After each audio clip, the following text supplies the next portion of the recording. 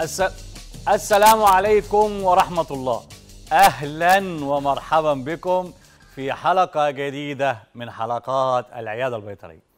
في العيادة البيطرية نتناول أمراض الحيوان بجميع فصائله المختلفة. الفصيلة الخيلية المقترات الأغنام الماعز الحيوانات الأليفة أمراض الأسماك وأمراض الدواجن. نتناول في كل مرض من هذه الأمراض مسببات هذا المرض. أعراض وطرق انتقال الإنسان والحيوان طرق العلاج وكذلك طرق الوقاية. ودائما أبدا شعارنا في العيادة البيطرية الوقاية خير من العلاج. مشاهدينا الأعزاء مشاهدي العيادة البيطرية النهاردة برضو هنستكمل موضوع أو هنبدأ موضوع جديد. آه هو طبعا مش مرض ولا له أسباب ولا له أعراض ولا حاجة. إحنا كل ما هو يخص الإنتاج الحيواني بنتكلم فيه. وخلال الفترة ديت داخل علينا اللي بيسموها العروة النيلية بالنسبة للذرة.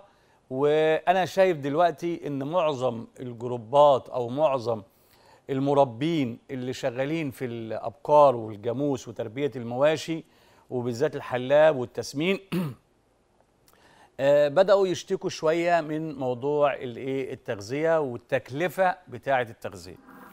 فقلت أتكلم النهارده على مو... على حاجة لو اتوجدت معانا والمفروض إنها تبقى متواجدة مع كل فلاح صغير وكل مربي وكل صاحب مزرعة تسمين أو صاحب مزرعة بقر الما... الحاجة دي إحنا بقالنا عشرات السنين بنتكلم فيها بس دلوقتي بقت لا غنى عنها لأنك ممكن من خلالها الأيام اللي بقى فيها الغلو الرهيب لل... للحبوب أو للأعلاف ممكن تعتمد عليها. ممكن تبقى غذاء متكامل خاص بيها. الحاجة ديت اللي هنتكلم عليها النهارده هو السلاج. هنتكلم على آه إزاي السلاج ده آه هو إيه وبيشتغلوا إزاي وإيه السيلجة آه هي عبارة عن أو طريقة أو أو ميثود لحفظ المواد من الأعلاف في وقت إنتاجها أو موسم إنتاجها الغزير عشان نستخدمها في أوقات ما ما بتنموش فيها. أو تقل إنتاجية الفدان منها. يعني إحنا في شهر سبعة وشهر يناير اللي إحنا دلوقتي شغالين في إيه؟ في الذرة. الفكرة العامة إن أنا بجيب النبات ده أقطعه أو الخم المادة اللي هي عايز أحفظها أقطعها الأول أفرمها الأطوال المناسبه بختار المادة الجافة المناسبة للحفظ في مع الكبس هذا المخلوط بضغط شديد لاستخراج. بحوله من الانايروبز يعني بحوله من الصفة الهوائية للصفة اللاهوائيه لاستخراج الهواء منه آه عشان أحفظها وأغطيها بشرائح من البلاستيك زي ما أنتم عارفين. آه وبغطي بعد كده بردم أو بإطار سيارة أو مواد أخرى زي الرمل أو خلافه. وبعد كده بسيب الحاجة دي تتخمر في معزل عن الهواء. آه لمدة مثلا من 30 ل 40 يوم وبعدين أستخدم الحاجة دي في التغذية. هو ده السلاج أو هو ده حفظ الحاجة. طريقة الحفظ لفترات طويلة بنستخدمها لإنتاج السلاج من علف كتير من أعلاف كتير. زي إيه مثلا؟ في عندنا سلاج الذرة وفي عندنا سلاج البنجر في عندنا سلاج قشر البرتقال وعندنا سلاج بقايا محصول النباتات البقولية. أي حاجة عندي بكمية وبوفرة ممكن اكمرها وأستخدمها في الوقت اللي أنا أحتاج فيه. بيعتبر سلاج الذرة على قمة أنواع السلاج الموجود. والمثال الجيد له وعملنا دراسات كتير وبحوث كتير تناولت كافة اوجه صناعته واوجه حفظه. آه بنخلي بالنا إن العوامل دي كلها أو الصناعات دي كلها دراسات اقتصادية. اللي يعني أنا هوفر إزاي؟ هوفر في الأكل إزاي؟ آه هيقلل الأمراض وفي نفس الوقت يعني أو حافظ على آه الحيوان من الأمراض واقلل التكلفة بقدر المستطاع عن طريق إن أنا أحفظ هذا المنتج حفظ جيد. لو اتكلمنا على سلاج الذرة وده اللي أنا يعني عايز اخواننا الفلاحين ياخدوا بالهم من الحتة دي قوي إن سلاج الذره يا اخوانا عليقة متكاملة. عليقة متكاملة. يعني ممكن ااكل حيوان فيها فترة طويلة. بتتمثل في نبات الذرة. غالبا حبوب الذرة بتم... 60% من العليقة أو 60% من العود. و40% تقريبا الساق والأوراق لما أنا أهرسها مع بعض. النسب دي ممكن تزيد أو تقل تبع إيه؟ عمر الحشة. من طور الحبوب اللبني أو الطور العجيني إلى الإيه آه الوقت اللي أنا هعمل فيه السلاج كمان آه الله يمسيه بالخير الدكتور واعر آه دايما كان إيه بيتكلم في الحتة دي كتير وكاتب عليها شوية أفكار وهي عجبتني الأفكار بتاعته وبدأنا إيه نتكلم فيها لو إحنا شفنا الفيديو معانا آه بالنسبة لتقطيع السلاج ونشوف إزاي بيتقطع وإزاي بيشتغل أيوه. لو المخرج يعني يا ريت يعملها لنا. نبات الذره يا اخوانا بيتأثر بالنمو وبيتأثر درجات الحرارة والري بصورة كبيرة جدا خاصة في المناطق اللي هي الباردة. بينمو الكوز بسرعة وبينضج قبل العود اللي بيحتفظ بلونه الأخضر. لو في المناطق اللي هي الصعيد أو المناطق الحارة العود بسرعة بينمو سريع وبعدين بيفقد لونه الأخضر بينما يتأخر نمو الكوز وبيحتفظ بلونه الأخضر ودي مع يعني بتبقى صعبة أو بتبقى رخمة في صناعة السلاج في المناطق إيه الحر. عشان كده بعض الشركات اللي هي بتاع إنتاج البذور طلعت هجين طلعت إنتاج هجين خاص بالسلاج أو أو أو ما اللي إحنا بنسميه دائم الخضرة عشان أنتج سلاج عالي الجوده وأنتج أعلاف خضراء تحتوي على حبوب ذرة كفاية. طيب حلاوة السلاج في إيه أو قيمة السلاج دي إيه؟ السلاج ده مصدر هام للطاقة. آه أنا مش هعتبره مصدر هام للبروتين بس مصدر هام للطاقة. آه آه إحنا قلنا قبل كده البروتين بتاعه تقريبا من 8.5 ل 9 لكن إن هو برضو بقدر أستخدمه كغذاء متكامل خلي بالكم من الكلام ده آه الاهتمام بزراعة السلاج آه عشان آه تغذيه الأبقار لمدة عام وعشان كده لازم أهتم بالتقاوي بتاع السلاج وبهتم بالتقاوي اللي بتعمل لي أعلى إنتاجية في الأعلاف الخضراء ومحتوى الكوز. يعني يبقى أخضر والكوز بتاعه فيه كوز أو كوزين والحبوب بتاعه سليمة و10 على 10 عشان كده دايما بقول لك بنفضل أنواع الهجين اللي هي دائمة الخضرة وبعدين اللي, بتديني كوز الالتزام بالري طبعا عشان الكوز الفلاحين إخواتنا الفلاحين عارفين الكلام ده كويس قوي آه وقت امتلاء الكوز إن تعرض. لو أنا ما اديتش مية كويسة وعرضت الزرع بتاعي للعطش هيقلل من نمو الكوز وده الفلاحين يعني إخواننا الفلاحين عارفين الكلام ده كويس قوي وبيديني بعد كده كوز فيه عفن وفي تفحم وده يعمل لي مشكلة. عشان كده إحنا نخلي بالنا في موضوع الايه الري بتاعنا ونكون ظابطينه صح عشان يبقى عندنا منتج سليم من الخضرة وسليم من الكوز. الذرة لما أزرعه بكثافة أعلى من من كثافة الزراعة نفسها بغرض إنتاج إن أنا أطلع حبوب كتير.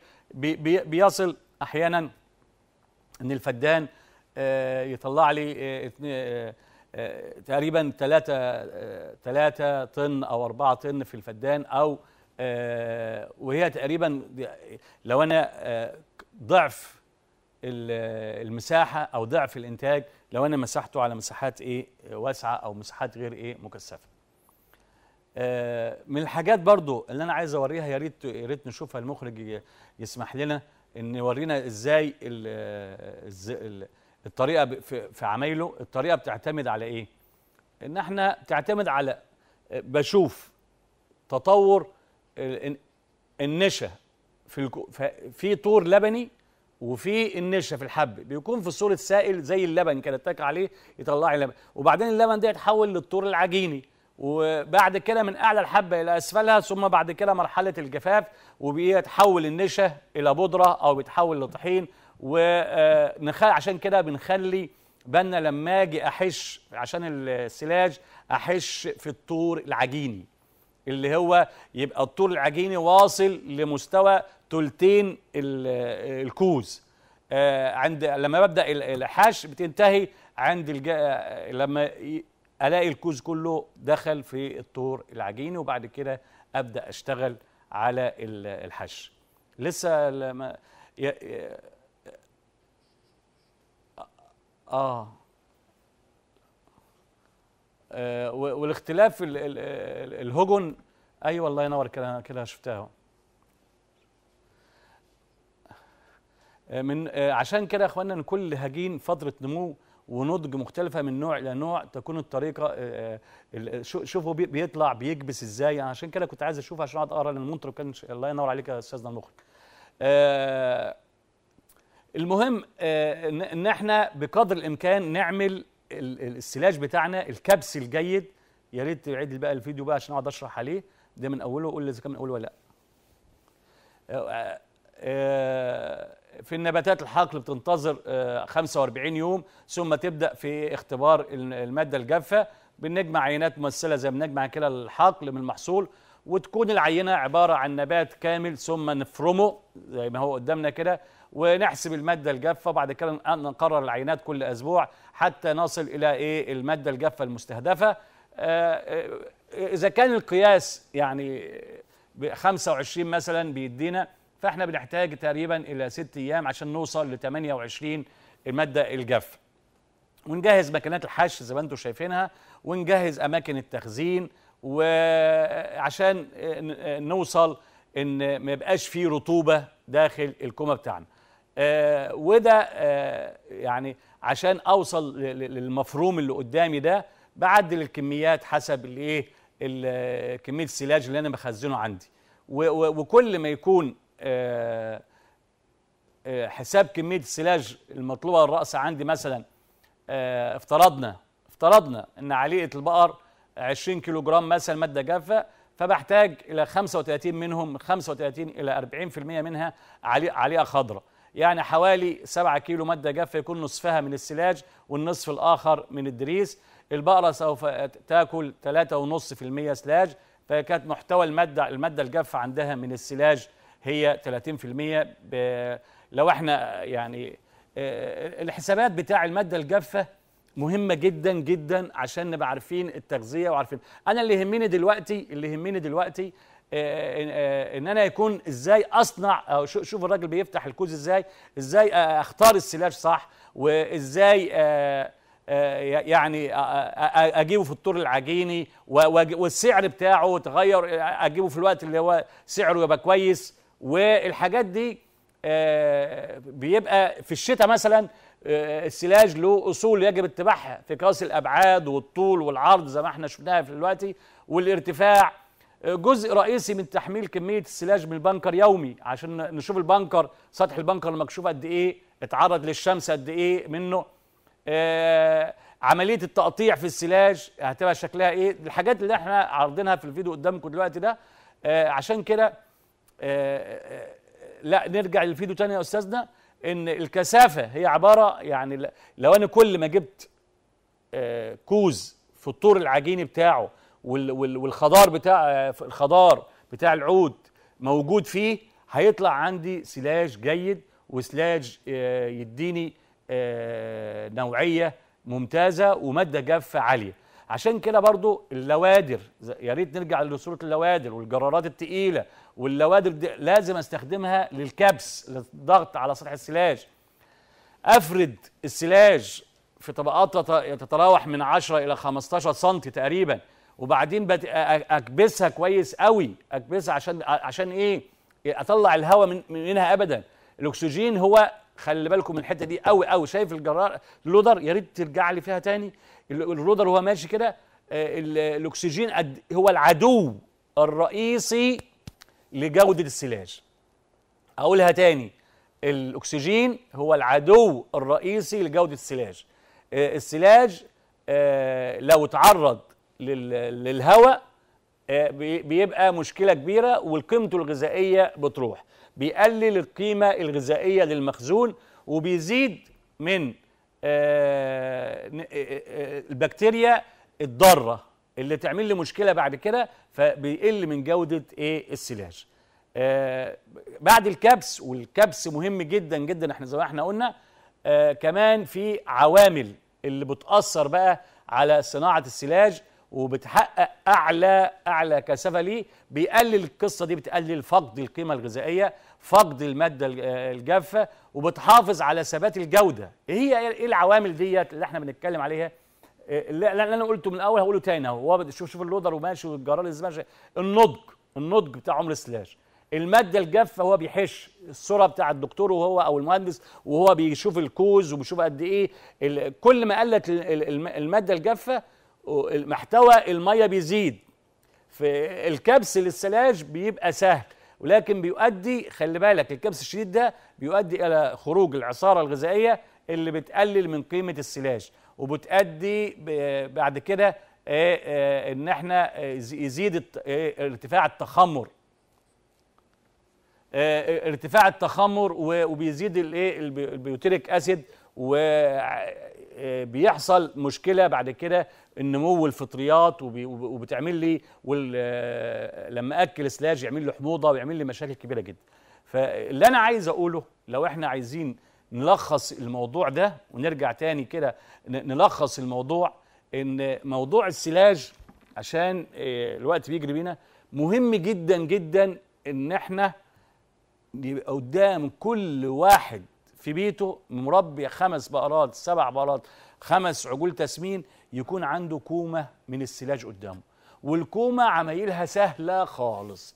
أهم حاجة آه، طبعا اختيار ال- الذرة اللي أنا هقصه أو اختيار الذرة اللي أنا هحشه الذرة ده لازم يكون خضار في العود ولازم يكون فيه كوز مكتمل في في الطور العجيني مفيش فيه عفن مفيش فيه هباب مفيش فيه أي حاجة من الحاجات ديت. واطحنهم كويس واكبسهم كويس وبعد كده إيه، آه، أدي آه، آه، أحط أحط في الكومة عندي وأغطي الكومة كويس. التقطيع بطول مناسب بيرفع قيمة السلاج آه، طريقة التخزين في بطريقة جيدة بيختلف من كومه لكومه أو من بنكر لبنكر. برضو كل ما اخزن بطريقة كويسة وكل ما أكبس بطريقة كويسة معدل ال- السلاج عندي بيبقى أعلى والجودة بتاعته بتبقى أعلى. كمان عايز أقول إن آه، آه، المتابعة ساعة ال- الكبس وساعة ال- الحش مهم جدا. ما سيبش الموضوع لواحد يجيبهولي وبعدين أنا أبص عليه. سمك طبقة الكبس كلما كانت رفيعة كانت أفضل. والسمك ال 15 سم بتاع الطبقة بتاع الكبس هو السمك المناسب. ارتفاع كومه السلاج من 2 متر ل 3 متر برضو يكون مناسب. آه، لو أنا آه، عايز آه، سلاج جيد لازم أعمل ال drainage. ال drainage اللي هو إيه؟ آه، ال- آه، الصرف الصرف بتاع الكبس لازم أبقى فيه ماسورة. محطوطة في نص ال- الكومة بتاعتي أو في نص ال- البنكر بتاعي يطلع لي السوائل بتاعها بره. واغرسها برضو ممكن آه، إيه، أحطها في الكومة نفسها. بحسب حجمها وبحط إيه بغرسها في الكومة وبسحب دايما ال- المية منها أول بأول. وبعد كده آه، بحصل على سلاج آه، عالي ال- الجودة. سلاج ممكن أغذي حيوان عليه في حالة آه، إن أنا ما الاقيش ما الاقيش مركزات ما الاقيش آه، كمية أكل ممكن في الوقت ده يقدر يكفيني ويديني برضو معدلات آه، نمو, نمو كويسة. مشاهدينا الأعزاء أنا كده اديت اختصار بسيط عن السلاج أو موضوع السلاج وده حاجة اللي بأكد عليها مرة واثنين وعشرة ما عادش في غنى عن أي فلاح عن كومة السلاج قدامه. مهم جدا إحنا مع التغييرات بتاع الذرة والصويا والرده والكمية دي بدل ما أسيب العجل جعان أو أضطر أصرف عليك بكميات كتيره قوي ممكن مع السلاج يسد ال- الفترة اللي بيبقى فيها اضطرابات في الأسعار بتاع التغذية. آه، فاصل صغير وبعد الفاصل إن شاء الله هنبدأ ناخد الأسئلة بتاعتكم ونجاوب عليها. فاصل ونتواصل. أهلا بيكم مشاهدينا الأعزاء. آه، مهم قوي يا اخوانا إن أنا قاعد أزيد وأعيد في موضوع السلاج وكله يعمل سلاج وخلي بالكم في التصنيع واتكلمنا في التصنيع. خوفا برضو السلاج اللي بيتعمل آه، تجهيز غلط أو آه، إنك أنت تكبسه بطريقة مش صح. هناخد حناوي من كفر الشيخ. ماشي يا حناوي. اتفضل يا أستاذ حناوي. حناوي. السلام عليكم. عليكم السلام ورحمة الله وبركاته. اتفضل. ازي حضرتك يا دكتور؟ الحمد لله. كل سنة وانت طيب بمناسبة آه، نصر اكتوبر. ومولد و- النبي. نصر اكتوبر. ومولد النبي كمان كل سنة وانت طيب. عليه الصلاة والسلام. عليه الصلاة والسلام. اتفضل. بقول لحضرتك انت انت فينك بقالك أسبوعين يا دكتور؟ إيه؟ فينك بقالك أسبوعين معلش يا حناوي. معلش اعمل لي بقى مشكلة على القناة كده يا حناوي. قول يا حناوي. مش لا مش إحنا متابعين حضرتك. ويعني وبعدين المفروض بعد إذن حضرتك يعني يبقى حتى يومين في الأسبوع يا دكتور. حاضر يا حناوي بس قول السؤال اللي عندك الله يهديك. السؤال اللي عندي ال- الجلد العقدي دي بقاله كام سنة في مصر؟ وإزاي لغاية دلوقتي ملوش علاج؟ ماشي. ماشي يا حناوي. السؤال الثاني ال- إزاي ال- الأدوية البيطرية ملها- ملهاش تسعيره طيب. ماشي. ماشي. ثالث حاجة أنا عندي بقرة ب ب ب يعني بتفرط لبن من الضرع. إيه العلاج بتاعها؟ بتنزل بتفرط لبن من الضرع وهي واقفة والدة لاز- قريب ولا والدة من زمان؟ ده والدة بقى لها ثلاث شهور بس هي ساعة ما بتنام كده بعد الظهر بت- بتنزل وبالليل برضه بتنزل. حاضر حاضر حاضر يا. حناوي شكرا شكراً شكرا. شكراً مع. السلامة مع السلامة.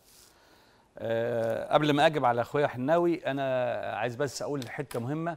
في موضوع عدم أه الكبس الجيد وعدم تجهيز السلاج بطريقة جيدة ده ممكن يدخلني في أمراض يعمل لي مشكلة كبيرة جدا. يعني لا قدر الله وأنا بكبس دخول بعض الفيران ودخول بعض ما منضفش المكان وحصل الكبس ده ممكن السلاج ده يبقى مصدر للليستيريا مرض خطير جدا بيسبب دوران ال- الحيوان حوالين نفسه ويسبب الإجهاض ويسبب الحيوان يقع أو إن أنا هناخد من المنيا اتفضل يا إبراهيم من المنيا اتفضل يا إبراهيم. آه اتفضل يا إبراهيم. حضرتك عايزين حاجة عن الفتح الشهية في الأغنام. حاضر يا إبراهيم. فاتح للشهية للاغنام شكرا يا إبراهيم. في حاجة تانية؟ وحضرتك عندي معزة آه، اللبن مش راضي ينشف منها. طيب شكرا يا إبراهيم. اللبن مش راضي ينشف. أشكرك يا إبراهيم. آه ف والحاجة التانية الخطيرة برضو اللي هو إن أنا لما أجي أغطي السلاج ما اغطيهوش بروث الحيوانات. لأن لو حطيته بروث الحيوانات ممكن يدخلني في كوليستريديا اللي هو ال- ال- الموت الفجائي والحيوان ممكن يحصل له شلل فجاه ويموت فعشان كده مهم قوي قوي قوي إن أنا آه، أعمل السلاج بطريقة صح وزي ما عرضناها قدامكم وزي ما اتكلمنا فيها يبقى كل فلاح يحاول بقدر الإمكان يعملها. أخونا حناوي سأل على الجلد العقدي. هل له علاج ولا ملوش وأدوية البطارية المغشوشة وبتاع البقرة اللي بتفرط لبن وهي قاعدة. آه، بالنسبة للجلد العقدي إحنا الق- القضاء عليه عن طريق حاجتين. هقول لك الوقاية منه وأقول لك العلاج بتاعه. الوقاية منه اللي هو زي ما متبع زي ما ماشية الهيئة العامة للخدمات البيطريه ووزارة الزراعة عن طريق التحصين ومكافحة العامل الوسيط وهم الحمد لله شغالين في الموضوع ده كويس قوي يعني تحصينات آه، كل كل تسع شهور بيحصنهم آه، ضد التهاب الجلد العقدي وبيكافحوا الناموس والذباب في أماكن تواجدها هو ده رقم واحد في طرق الوقاية القضاء على العامل الوسيط أو القضاء على الناموسة والدبانة والتحصين. ده اللي بيرفع المناعة ضد المرض.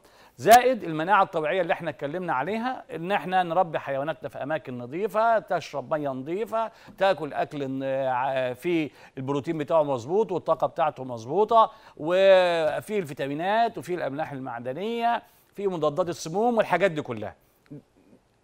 ده بالنسبة للوقاية. بالنسبة للعلاج هقوله بس بعد ما آخد عبد الرشيد من الفيوم. اتفضل يا عبد الرشيد. اتفضل. السلام عليكم. عليكم السلام ورحمة الله وبركاته. لو سمحت ال- السيلاج كويس لل- لل- لل- للفحل الصغير ال- الجاموسي العجول الصغيره الجاموسي ال- اللبانة؟ بعد ما يتفطم يعني. السلاج بعد ما أفطم العجل بتاعي من أول 100 كيلو أو من أول 120 كيلو أكل سلاج. آه، طول ما هو بيرضع علف مركز آه، في ذرة وفي صويا لا ولبن. أنا لا أنا بشتريه من السوق آه. وبجيبه ف- وبعدين بقى بعلفه ش- اديله سلاج على طول ولا أدي ولا أدي على- عليه ناشفه الأول بص بص يا حاج عبد الرشيد شاريه من السوق اتفضل. وزنه وزنه فوق ال 100 كيلو بياكل بياكل مم. بياكل ولا بياكلش رد عليا وط- بياكل بياكل طب بياكل. طيب تمام. ما دام بياكل هتبدأ الخمس أيام الأولين زي ما إحنا قلنا شوية دريس استقبال على الدريس بس. تخلي تخلي عشان هو كان بياكل إيه هناك في عند صاحبه ما إحنا عايزين نجهزه لينا. يبقى التحصين أيوة. بتاعه ضد الحمى الكلاعيه وحمى الوادي المتصدع أول ما أول ما يخش عندنا مكافحته ضد الديدان الداخلية والديدان الجوف معوية مكافحته ضد الدودة الكبدية دي أول ما يخش عندنا على طول. وبعد كده أفرد له الدريس ثلاث أربع أيام. بعد الدريس أبدأ أدخله العلف المركز كيلو كيلو وربع كده وبعد شوية يبقى دريس وعلف مركز وسلاج. مفيش مشكلة طيب. خالص إنك تأكل السلاج لغاية ما يطلع العجل على اللحم. طيب سعادتك. شكراً يا عبد الرشيد. مم؟ بن- بالنسبة ألو. قول يا عبد الرشيد عشان تحت أمرك اتفضل. بالنسبة ل- ل- أجيب الدكتور يحصلهم ولا أنا علاج من الصيدلية واحصل لا لازم الدكتور طبعا يا عبد الرشيد. لازم كل ماشي. حاجة كل حاجة يا حاج عبد الرشيد عن طريق الدكتور البيطري. ماشي؟ ماشي شكرا شكرا. آه، إحنا لسه ما جبناش على الحناوي. كان يقول لك طب إحنا قلنا الوقاية. العلاج العلاج العلاج بالنسبة للجلد العقدي معروف. وقلناه في معظم أو كل الحلقات بتاعتنا هو آه، معظم أمهات الكتب قالت سلفوناميد. يعني الدكتور البطري هتروح له هيديك شوية سلفة وهيديك يديك تحت آه، تحت الجلد الكميات اللي هو عايزها وهيدي حاجات آه، رفعات للمناعة وانت تعمل حاجة كويسة برضه عشان لو في فتحات في في الدمام اللي هي موجودة أو في العقد البكتيريه العقد الم- الموجودة على على الجلد لو في حاجة واحدة منهم فتحت أو اتنين فتحهم آه، أنت طبعا ما تجيش ناحية المقفول. ال- اشتغل بس على المفتوح بشوية صبغه وتدهن ال- ال- ال- العجل أو البقرة بكرب... آه، صوديوم بيكربونات غالبا البيكربونات بتاعتنا.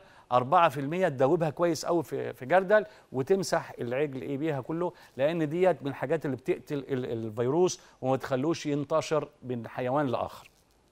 ده بالنسبة للجلد العقدي بالنسبة للأدوية البيطرية آه إن شاء الله في في حاجة نعملها كده آه إن إحنا ما يبقاش في أدوية مغشوشة بكتر إن إحنا نلف على ال- المكاتب البيطرية كلها ونقدر نعمل كنترول شوية عليها والحمد لله إحنا بنعمل الكلام ده بس هنزود فيه بكمية أكبر إن شاء الله. آه، نزول اللبن ده يعني عادي هي تقعد بعد شوية آه، بينزل وب- وبيقف. بس هو المشكلة كلها إن هو ممكن يعمل لك التهاب نتيجة إن الحلمات متفتحة. فلما تلاقيها تعمل كده بقدر الإمكان ابقى طهر الحلمات عشان تسد تعمل sealing لفتحة الحلمة عشان ما ما يبقاش داخل لها عدوى بيسموها ال ascending infection يعني العدوى اللي جاية من الأرض وتعمل لك التهاب التهاب ضرع فبقدر الإمكان لو لقيتها كده يبقى دايما طهر الأربع حلمات عشان تقفلها وبعد كده احلبها في مواعيدها العادية جدا جدا. آه إبراهيم منيا كان بيسأل على فاتح الشهية للأغنام. في كتير يا إبراهيم فاتح للشهية حضرتك روح لأي بيطار أو أي طبيب بيطري موجود في في المكاتب اللي عند حضرتك وقول أنا عايز فاتح للشهية للغنم هيديك آه، آه، حاجات كتير قوي موجودة عنده وهيديها لك وهتفردها على ال- على العلف آه، بتاعك ويبقى الأغنام بتاعتك كويسة بس الأفضل إن أنت الأول آه، تطهر آه، الجوف بتاع الأغنام بتاعك من الديدان الداخلية والديدان الجوفمعوية وبرضه لو في حاجة للديدان الكبدية طهرها وبعد كده فكر في فاتح آه، الشهية. الأخ جمال من الجيزة اتفضل كده إحنا أجبنا على معظم ال- الجنة. اتفضل يا أخ جمال من الجيزة. اتفضل آه، كنت عايز أسأل على حضرتك على لا مؤاخذه بقرة ولدت وما نزلهاش لبن بقرة ولدت وما نزلناش بقرة بلدي ولا هي بقرة كسرة جوز وأول ولد لها. بقرة يعني بكرية بكرية وبلدي ولا ولا عادية؟ لا هي إيه؟ خليط. خليط. ومفيش ليها ضرع خالص؟ بسيط جدا ومع العلم بإنها بتاكل أكل كويس جدا. خلاص سمنها ما دام مفيش فيها لبن خالص ومفيش فيها ضرع سمنها و... ولما تسمن بيعها لأن أنت هتربيها هو- ليه؟ هو ده سببه إيه يا دكتور؟ لا سببه إن هي أصلا الص- الصفات الوراثية بتاعتها ما, ب... ما ب... مش حيوان لبن مش حيوان منتج لبن. مش حيوان أنت آه، تقصد إنها تلقحت تبيع إنتاج لحم. لا هي هي هي مش عشان التلقيح التلقيح عش... آه، اللي هي... آه، هيجيب لك المولود. التلقيح اللي انت بتلقحه ليها ده هو المولود بتاعها اللي هيبقى إيه كويس أو مش كويس. لكن هي في الاصل أصلا مش. مش بتجيب لبن. فسمينها يا أخ جمال. ما في سؤال تاني بس يا دكتور. اتفضل يا جمال. آه، حضرتك طبعا علمتنا إن العجل لازم يرضع السرسوب أيوه. ماشي. طب أنا دلوقتي بسيبها بعد بعد يوم الولادة ثلاث أيام اللبن فيها. آه، العجل ما فيش فيها لبن للسرسوب خالص؟ الس- يعني العجل يرضع السرسوب ثلاث أيام ما بحلبش منها. آه وبعدين؟ على أساس يعني إن هو يبقى محفوظ بطريقة طبيعية زي ما ربنا خلقه يعني. طيب طيب وبعدين؟ ده صح ولا غلط؟ لا صح طبعا. هي أصلا ما فيش فيها لبن بتقول. فلا على الأقل يبقى فيها شوية هي للعجل يا دكتور ها؟ اللي أنا بقول لحضرتك الأولانية دي عند واحد جار إنما اللي أنا بتكلم عليها حضرتك دي بتاعتي والده طبيعي كويس. طب انت يعني حضرتك بس وضح صوتك عشان أنا مش فاهم يعني بتقول ان أنا ارضع السرسوب من البقرة بقول لك الله ينور عليك. إيه, إيه تاني؟ ها؟ أنا بقى يعني بسيبه في الضرع بتاع البقرة ثلاث أيام العجل يرضعه من غير ما أحلبها. طيب أنا أقول لك لو البقرة منتجة وكمية لبنها عالي الأفضل الأفضل واللي بقوله أشكرك الأول عشان ندي- أسئلة لغيرك. آه، أنا هاخد عبده من البحيرة وهرد على حضرتك. اتفضل يا حاج عبده. حاج عبده. أيوه يا دكتور. اتفضل. اللهم صل على النبي. عندي جاموسة والده من خمس شهور. حلو. ولحد دلوقتي يا دكتور لسه ما صرفتش خالص. حلو يا حاج عبده. شكرا يا حاج عبده. شكرا عشان آه، من البحيرة. ماشي. آه، بالنسبة للحاج جمال آه، الأفضل لو الحيوان البقرة الوالدة بتجيب إنتاج لبن عالي الأفضل إن أنت تحلبها بحليب آلي. لو عندك مكن الآلي وتحلب ال- الحليب أول ما تلد على طول أول ما تلد تحلبها وتاخد السرسوب ده تعينه تعينه في بزازة نظيفة وتحطه في ال deep freezer. لو في كمية 10 كيلو أو 12 كيلو أو 8 كيلو جابتهم هتاخد 2 كيلو أو 3 كيلو في اول قطفة وتديهم للمولود. والباقي تعينه عندك في ال deep freezer. لو لا قدر الله احتاجته في أي حاجة تانية بقره تانية عندك ولدت وما جابتش سرسوب أو بقرة جارك ولدت وما جابتش سرسوب ده مسمار الحياة تروح تديهوله في ساعتها فالأفضل إن أنت ما تسيبوش مع الأم يرضع منها الأفضل إنها تحلب تحلب الأم كويس قوي وتاخد القطفه الأولى وتديها للعجل في أول. في أول كلما كان بدري كلما كان أفضل وكلما كان كمية زايدة كلما كان أفضل لأن ده السرسوب ده يا إخوانا هو السلاح الوحيد اللي العجل ده بيدافع بيه عن نفسه. برغم إن المولود ده أو الرضيع ده جاياله جيوش جاياله جيوش من الميكروبات بتهاجمه وعايزة تفتك بيه. الحاجة الوحيدة اللي بيدافع بيها عن نفسه ضد الجيوش دي هو شوية السرسوب اللي بياخدهم من امه ده. السرسوب ده كل لو, لو, لو أول ما تحل ال- الولادة تتم تحلب البقرة على طول وترضعه البزازة. طب أنا ما عنديش بزازة وما عنديش إمكانية بزازة وما عنديش إمكانية إن أنا أحلب آلي والبقرة جايبة لي 2 3 كيلو والضرع صغير. يبقى سيب المولود مع أمه. يحلب يشفطها في اليوم الأولاني يشفطها في اليوم الثاني بعد كده في اليوم الثالث أو الرابع والخامس أبدأ أنا إيه بقى؟ أتدخل لو فيها شوية لبن زيادة أحلبهم أنا. لكن اليومين الأولانيين أو ال 36 ساعة الأولانية هو يشفط كل اللي فيه. شوف أنا بقولها لك حتى بالايه بالبلد بالفلاح يشفط كل اللي فيه. ما يخليش فيها حاجة خالص بالنسبة للسرسوب. طب فيها كمية كبيرة كويسة احلب حليب آلي وخزن عندك في البزازات ورضع أول بأول وكل ما تحتاج سخن البزازة تاني درجه حرارة 37 درجة مئوية من المخزون عندك وتدي العجل. أنت ممكن تستخدم السرسوب ده لعلاج الإسهالات لعلاج مشاكل تانية كتير. وليه أنا بصر في موضوع السرسوب إنه يكون بدري؟ ما هو ال- ال- ال- ال- اللي نازل ده هي الأجسام المناعية للامراض اللي خدتها الأم أثناء فترة حياتها. ربنا بينزل الأجسام المضادة بتاعة الأم دي بتاعة الأمراض دي بينزلها في السرسوب ده. بينزلها في شوية اللبن دولت. الأجسام المضادة ديت الأحجام بتاعها كبيرة. الحجم اللي هي ال- الحاجة اللي أنا بجري عليها آه، عشان السرسوب وأهمية السرسوب بيبقى حجمه كبير. وامتصاصه داخل الأمعاء بيبقى محتاج آه، آه، يعني أخرام كبيرة أو بور كبيرة عشان ينزل ال- ال- ال- ال- ال- ال- ال- الجسم ده أو ال- ال- الحاجة اللي مضاده للمرض دي تنزل في حاجة لازم الحاجة تبقى واسعة على الآخر كده عشان تنزل منها عشان الخمله تمتصها. الحاجة دي ما بتفتحش وتبقى واسعة على الآخر كده إلا في ال 36 ساعة الاولانيه كل ما كل ما الوقت بيعدي بتلاقي البتاع دي بتضيق بتضيق الخرم ده بيضيق. فحتى لو أنت اديت له بعد كده الأجسام المناعية ديت أو الأجسام المضادة ديت هتخش فين؟ مش هتخش في المكان اللي الحيوان مش هيقدر يستفاد بيها فهتنزل مع الايه مع مع ال- البراز بتاع الحيوان. فمهم قوي قوي قوي إن أنت كل ما يكون بدري وعارف ليه ما يكون بدري؟ عشان يقدروا يمتصوه. وهي دي الأهم حاجة في موضوع السرسوب. معانا اتصال. يبقى آه، آه، طيب آه، يبقى عبده بتاع البحيرة قال حاجة آه، جميلة. بيقول لك أنا عندي بق جاموسة أو بقرة والدة بقالها خمس شهور وم- وما شاعتش. طب يا حاج عبده أنت بتعمل إيه بقالك خمس شهور؟ بتحلبها بس وخلاص؟ مش إحنا قلنا يا حاج عبده أول ما البقرة تتولد وإنها بدل كل بدل مره عشر مرات أول ما البقرة تلد نصبر عليها بالظبط 21 يوم أو 25 يوم ونجري بسرعة نجيب الدكتور البيطري. هيعمل إيه الدكتور البيطري؟ هيحط إيده يشوف الرحم يطمن يطمن على الرحم. هناخد سيد من المنيا و... ونرجع للحاج عبده تاني. سيد اتفضل. أنا بحيي البيطريه وبحييك يا دكتور حامد وبحيي مصر الزراعية. وح- عندي سؤال أنا مربي ناس أبقار. في ظهرت السنة دي كده حاجة غريبة إن في عندي أكتر من بقرة بترضع نفسها يا دكتور. إيه السبب أو إيه العلاج؟ إحنا هناخد مشكلة مشكلة. بقر بيرضع نفسه دي هنقول لك أيوة. تعمل لها إيه؟ بيرضع أيوة. طيب.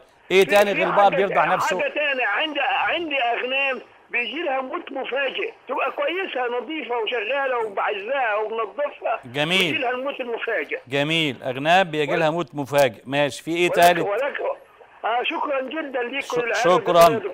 شكرا يا حاج سيد ونأجب عليك برضه في البقر بيرضع نفسه والغنم اللي موت فجأة. آه، الحاج عبده بتاع البحيرة أنت عندك أطباء البحيرة بسم الله ما شاء الله كلهم شاطرين قوي وشاطرين قوي قوي في التناسليات والتلقيح الصناعي. حضرتك هتستناها ليه خمس شهور يا حاج عبده؟ أول ما تلاقي الحيوان تم ال 25 يوم اجري جري على أقرب طبيب بيطري سمعته جيدة وشاطر تعالى يا دكتور شوف لي البقرة بتاعتي.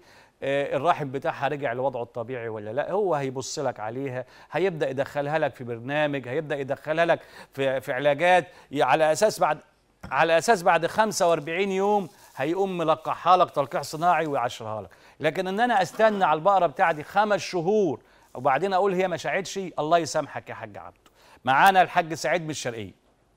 اتفضل يا حاج سعيد. اتفضل. السلام عليكم يا دكتور. عليكم السلام ورحمة الله وبركاته. إحنا عندنا مشكلة كبيرة والله يا دكتور. مشكلة كبيرة؟ آه. قول يا حاج سعيد. الكلاب الضاله دي يخرب عليك كلام الدار هنعمل بهدلتنا بهدلتنا وتروح تاكل في الدراعة ونروح نو- ونوكل ال- نمارة البهايم. ماشي يا حاج سعيد. دي شك- بيجي لها مرض. شكرا يا حاج سعيد. مشكلتك في الكلاب الضالة وهنحلها لك إن شاء الله.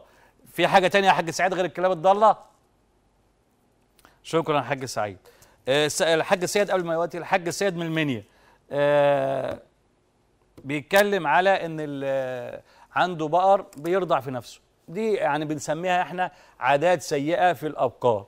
حلها سهل. هنجيب حاجة نربطها في مناخير باسمه منع رضاعة بنربطها في مناخير ال- المؤاخذة الحيوان أو البقرة اللي بترضع نفسها وهي عبارة عن مكان سليم بلانت كده أو مكان يتحط في المناخير وأشواك أشواك طالعة منه. زي حد يعني حتة حديدة وفي أشواك طالعه وفي أشواك طالعة من الحديدة دي. لما هيجي الحيوان يرضع يقوم الأشواك دي غارزه في الضرع هتعمل له ألم هيقوم شايل نفسه من الرضاعة تاني اللي ده إحنا بنسميه منع الرضاعة أو بنسميه اللي هو إيه ال- الأشواك دي تمنعها آه، لو عندك دي جبتها خير وبركة مش عندك يبقى دايما اثر لها لو هي مربوطة مش سايبة اثر لها الحبل شوية ما تخشش على إيه على الضرع بتاعها لأن دي بتبقى عادات يعني ما حدش عارف سببها إيه. هي بقرة بترضع لبنها. طب إحنا ندي منع الرضاعة ليها عبارة عن مجموعة أشواك آه، تحط لو جت ترضع هتقوم مع- آه، نفسها هتقوم منع نفسها إيه من الرضاعة.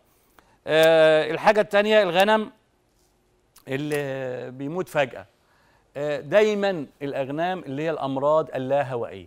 دايما بقول التحصين أكتر مرض بيأثر في الغنم اللي هي ال clostridial disease أو الأمراض اللاهوائية اللي هم من 8 ل 10 أمراض. 10 أمراض ممكن يجوا لل... لل... لل... للحيوان اللي... الغنم اللي عندي وفجأة وبتنقي أحسن خروف وبتنقي أحسن نعجة عندك. ولأنها بيسموها ال well nourishment اللي هو إيه متغذي تغذية كويسة وصحته كويسة يجي له فجأة الموت المفاجئ. طب الحل إيه؟ هو ده مش مش هعرف أعالجه لأنه مش مش هلحق حل. الحل له التحصين والتحصين بمواعيده. كل ست شهور بدي. بدي بدي التحصين بتاعي وجرعتين بينهم وبين بعض من أربعة لست أسابيع. موجود في السوق حاجات كتير قوي للتحصين ضد ضد ال clostridial disease أو الأمراض اللاهوائية. بروح أجيبها من الطبيب البيطري وأعمل التحصين بتاعي النهارده بعد ست شهور ادي جرعة. الجرعة الثانية من أربعة لست أسابيع وبعد كده كل ست شهور وهكذا. ده مهم جدا عشان نقضي على إيه الحيو... اللاهويات. آخر سؤال من الحاج سعيد يعني ربنا ييسر اللي هو الكلاب الضالة ومش كلاب الضالة. أنا الكلام ده أنا قلته يا إخوانا هاخد دقيقة بالظبط وأنا عارف المخرج بيقول لي يلا. إحنا كطب بيطري كأطباء بيطريين بنعالج الحيوانات ما بنموتش الحيوانات. الحي... الكلب الضال هو بيجري على على حاجة معينة إحنا نقلل الحاجة دي نقلل القمامة بقدر الإمكان في, في أماكن تواجدها. بقدر الإمكان نشوف آه، أماكن لايوائهم بعيد عن المدينة أو بعيد عن المكان الموجوده فيه. نقلل آه، ال- آه، الأكل اللي بياكلوه بقدر الإمكان نقلله. ونستخدم برضو آه، الحاجات اللي تقضي عليهم بدون بس بيبقى فيها رحمة آه، في المعاملة معهم مشاهدينا الأعزاء آه، سعدت بلقائكم. والسلام عليكم ورحمة الله وبركاته.